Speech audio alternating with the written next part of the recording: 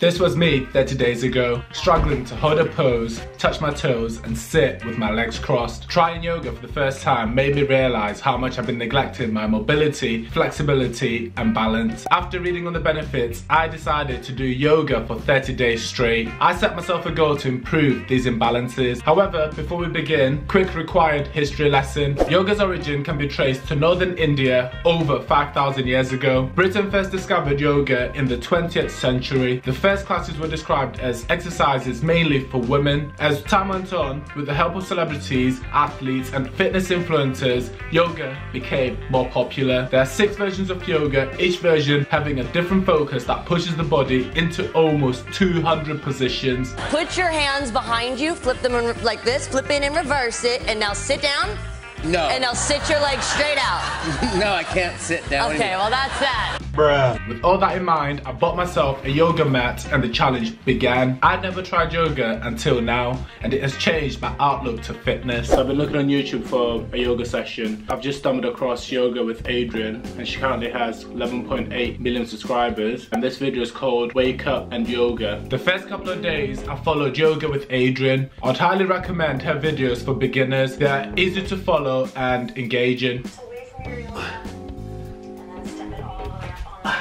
First day one completed. As you saw, I struggled there. I need to work on my flexibility. Hopefully after this 30 days, my flexibility would have improved. I also tried other content depending on the time of day. My morning sessions consisted of flexibility work and my evenings focused on mindfulness. This helped me de-stress and relax before going to sleep. Yoga was more physically demanding than I thought. Even with years of lifting weights, I really struggled to hold the positions. This was a different type of strength and endurance. Fair play to those that do yoga because that was tough. Shoulders are hurting a little bit. I couldn't hold half of the moves, which was pathetic.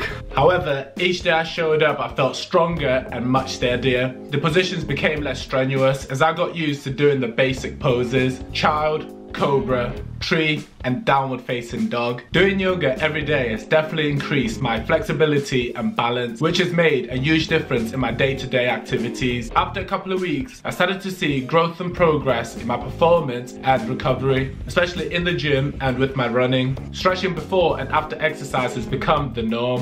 Seeing all these improvements kept me motivated throughout the challenge. The only thing that remains can I touch my toes and sit with my legs crossed. As you can see, I managed to improve. I look more comfortable sitting sitting down with my legs crossed and I can comfortably touch my toes. As you can see after 30 days of doing yoga, I've improved my flexibility and mobility. My hips still need a bit of work. Hopefully after a few more sessions, I'll be able to sit with my legs crossed and my knees touching the ground. But I'm really happy with how far I've come in the last 30 days just by doing yoga. As I said, the next step is getting those knees to the ground, then I'll feel more complete. I can definitely say I enjoy yoga and it is definitely the real deal. I recommend recommend you give it a go. It is simple and doesn't require a lot of effort. It only needs you to show up. Your body and mind will thank you later. Let me know down in the comments if you do ever try yoga. Anyways, thank you guys for watching. Do all that good stuff. Like, comment, and don't forget to hit that subscribe button. I'll catch you guys in the next one. Take care and peace.